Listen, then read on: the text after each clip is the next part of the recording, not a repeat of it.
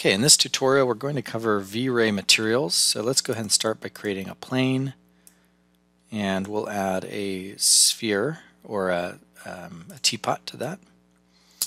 The teapot's in there just because it allows you to test materials. It's a really complex surface. You can see material in different orientations. It's a really nice kind of basic object if you're just testing materials. So the first thing you want to do actually before you add materials, before you set anything up, is to select an object, go to your modifier list, if you want, you can always just change the display color um, right here. So I could change that. That will be the color of the object until you add a material. But as soon as you add a material, will override that object. So just keep that in mind. You can also change the name, of course. So the first thing you want to do is actually from the modifier list, go in here and choose the UVW map modifier. This is really important. This tells Max how to apply the material to the object. If you don't do that, it'll just default to something that doesn't have you don't have much control over and doesn't look very good, especially on complex geometries. So you always want to add a UVW map, especially if you're going to use a bitmap or something, you really have to do this. But use a UVW map, not the mapping adder clear. Later, when we get to really complex geometries, you can use unwrap UVW map, which is for like character modeling and stuff. Um, and, and um, you know if you have like a complex machine and add decals to it. But for now we're just going to use UVW map. And the first thing you want to do is then change the mapping type to match the kind of geometry that you're mapping. So planar obviously doesn't work very well because it's a three-dimensional object. So in this case I'll choose something like box or, or spherical. It's really up to you.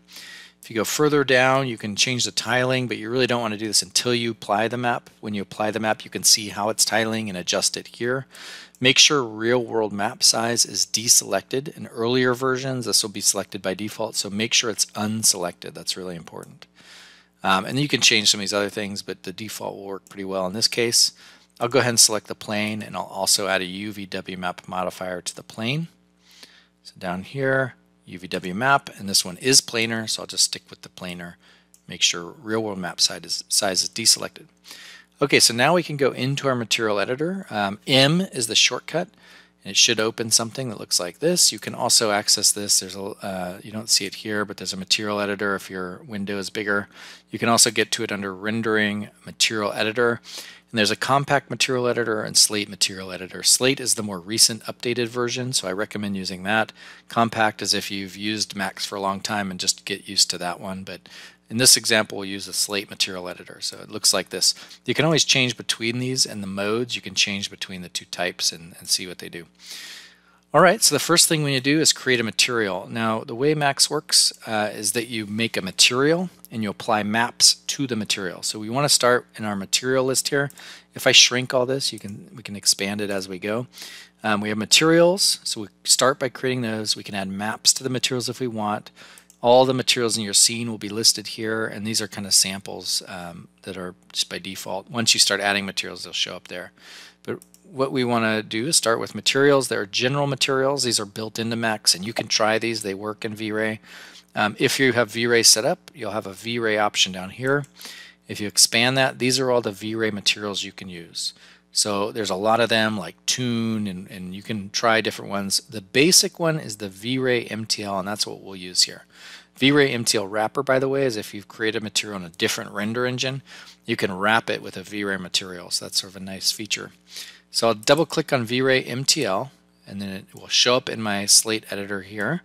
Um, these are all the different maps that you can add into this uh, material. So if I go down here, you'll open this up. These are all the different map types. So you have those kind of maps. You have a bunch of different maps. You can expand these menus and just see all of the different uh, maps you can use that are built into 3ds Max. All these general maps, like if you're going to use an image, you would want to use a bitmap here. We'll do that for the plane, uh, but all the other ones are kind of located here. So uh, I'll do another tutorial with procedural textures, but a lot of these, if you use these maps, are considered procedural textures, which means you can change parameters and they'll update on the geometry and they're built into 3ds Max. All right, so now let's go back to this material. Let's double click on it.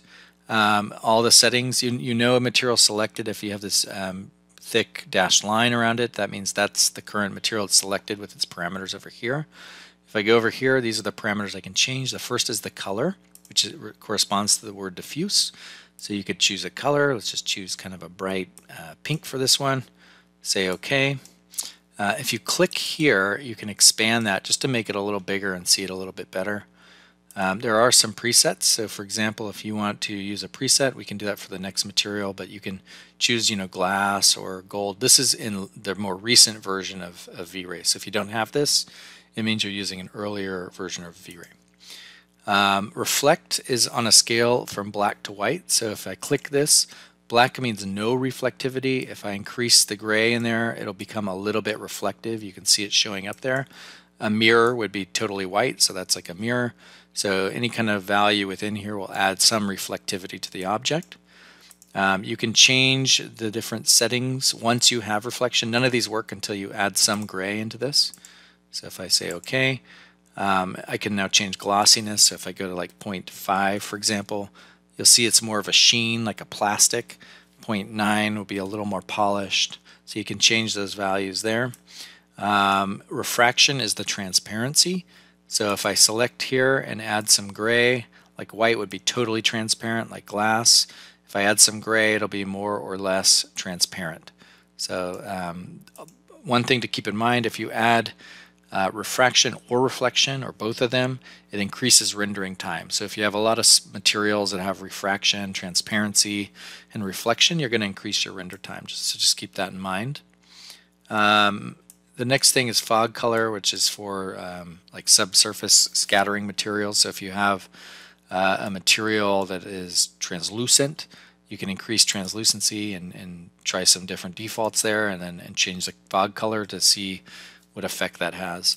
You can also make a material self-illuminate. There's a few ways to do this. You can actually add self-illumination here, or you can add under diffuse, there's a, a, light map. So if I go over here, um, there's a way to, um, under the V-Ray material, so it's actually a material type, you could do a V-Ray light material, which makes it like a light, or if you look at my V-Ray lights um, tutorial, you can actually make a mesh into a light source. So there's a few ways to do that if you want to. Self-illumination is nice if you have some pattern and texture and want to keep that, or even use a bitmap um, for that. So when you use maps, so this will work. If you want to apply this material, you can just drag from this output here right onto the material. The other way to apply it is to select the object and hit this button here, which is assign material to selection. Um, and so that material is now a material that's going to work. That's just a basic flat color. If you want to start getting a little more complex with your materials, you can add maps to these different slots here. So you can see diffuse uh, corresponds to the image of the material. So if there's um, you know, a brick pattern, you would have a picture of brick and you'd plug that into diffuse. If you wanted a reflection, like um, some parts of an object polished, other parts not, you could plug in a black and white bitmap here with that pattern of polish into reflective map or any of these other maps. So displace, you could actually literally displace a surface using a map or one of these procedural um, built-in maps over here. So it could be an image or it could be a map. Um, and then self-illumination, all these different things uh, have maps that you can apply. To add a map, you just drag out from diffuse. Let's actually create a new material here. So we'll do this for the plane. So go back to uh, materials, V-Ray MTL.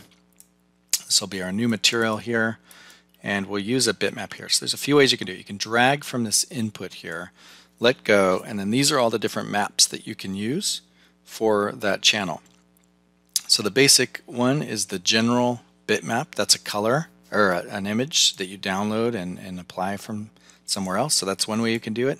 Um, you can, to change this, you can then double click on it and then find the bitmap link here and then search again for your bitmap. I could use uh, the rendering I did, for example. And that's one way to do it. I can select and delete this. Um, you can also use these other maps. So I could use maps that are built into 3ds Max, like uh, a basic checkerboard, for example. And all of these maps are going to have different settings and parameters over here on the right. So this one you can see there's color A and color B. Let's say color A is red, color B is, is light blue. So once you have a material, you can also add maps to these different slots as well. Once you're ready, you can just apply this again by dragging it. We'll put it on the plane. And one thing to keep in mind here, sometimes if you don't see it, you can click this button here and that will allow you to see sometimes it shows up gray even though the materials apply. If that happens, just click this button right here and then it should show up there. Now you can see I have a checker pattern on there. There's two things I can do to tile that. I can either tile it directly in the material or in the map itself. Um, and that's if you want to just tile one of the maps and not tile the other ones.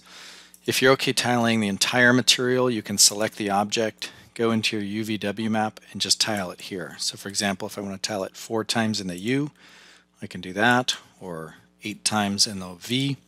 And that's how you can start to tile material. Now the other really nice thing you can do, if you open up your UVW map and select Gizmo, you can actually rotate and move the map itself without moving or rotating the material. So I could put a material very precisely on the surface of the geometry using the gizmo in the UVW map. And that's another reason you really want to use the UVW map modifier. So that's it for materials. Those are the basic materials. Of course, it gets more complex as you add um, additional maps in here. Notice like whenever you see one of these slots here, um, you can apply a new map to it. So that color, instead of a color, could become a map. Um, the other thing is when you see the word no map, that's another way to add the map. If I add a map here, it's going to also add it there. So um, it doesn't matter how you add it. Uh, you can either add it by dragging out of that slot, uh, out of the slot, or you could just add it right in the channel itself. The other thing is if you see if you see a little empty slot here, that's the other place you can add maps. So right here there's an M. That means a map has been applied to that channel. So you can see, of course, there's the map. So you could just click on one of these to apply it. So there's a lot of different ways you could do the exact same thing. I just want to point that out. The final way to do it is if you double click on the material, go down to maps, these are also all the maps. So again, you know, I have a checker, checker in the um, diffuse map slot. So you can also add it here if you want. The nice thing about here is you can actually change the amount that it's applied. So if you have some um, displacement or something or bump and you want to increase it, you can increase that number or decrease the number depending on how much bump you want that map to produce on the surface.